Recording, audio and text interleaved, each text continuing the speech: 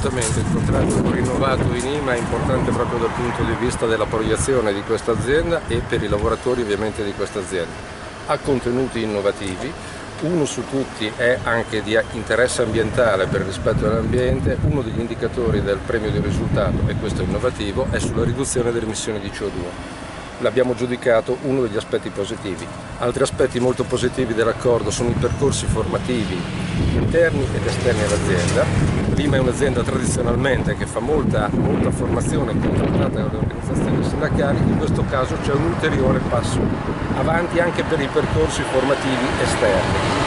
Resta un po' il limite di non essere ancora riusciti ad estenderli per tutte diciamo, le, le tipologie del sapere. C'è il grande tema delle relazioni sindacali che fanno po' parte della tradizione di questa realtà industriale e si è sempre dato peso a questo tema per avere in azienda il clima giusto no? per produrre meglio, per diciamo, ridurre anche la conflittualità. E voi avete previsto un passaggio specifico sulle relazioni sindacali? Sì, assolutamente. All'interno di questo accordo si costituisce il CISI, che è un comitato di indirizzo intersindacale, interaziendale, unitario, che rappresenta tutte le aziende di questa che ormai è una multinazionale a tutti gli effetti del territorio italiano che abbiano più di 100 dipendenti. È uno strumento necessario per affrontare anche Industria 4.0, le fasi di innovazione che ci attendono da qui a poco. È un aspetto assolutamente importante di questo accordo. Un altro aspetto che voglio sottolineare da questo punto di vista per il, diciamo, il tono delle relazioni sindacali è la precisione nel rinnovo della contrattazione. Anche questo è un elemento che caratterizza le relazioni sindacali. Questo rinnovo arriva esattamente alla scadenza del precedente accordo integrativo aziendale, quindi esprimiamo soddisfazione anche da questo punto di vista. Siamo con Massimo D'Alessandro, delegato della FIOM eh, de Lima, coordinatore dell'RSU eh, de Lima.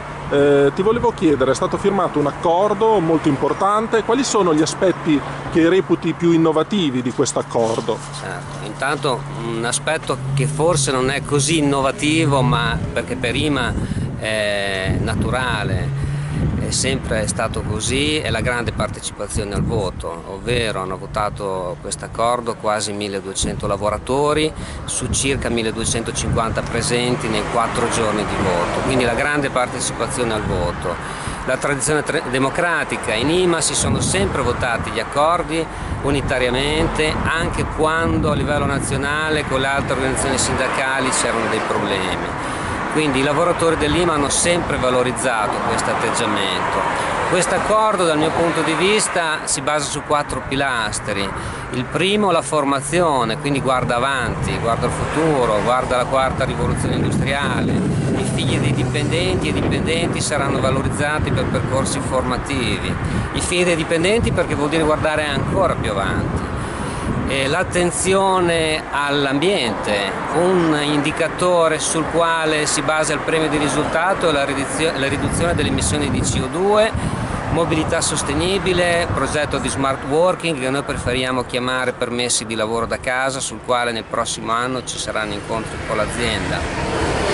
Eh, le relazioni sindacali, eh, il fatto di aver costituito il CISI, che è questo comitato interaziendale di indirizzo sindacale, composto dalle quattro società IMA sul territorio italiano con più di 100 dipendenti, che ci consente a, a scopo consultivo di incontrarci su tematiche trasversali che interessano tutto il gruppo. In un'azienda che cresce alla velocità di IMA è fondamentale avere questo rapporto, questa relazione ufficiale, ufficializzata con l'azienda.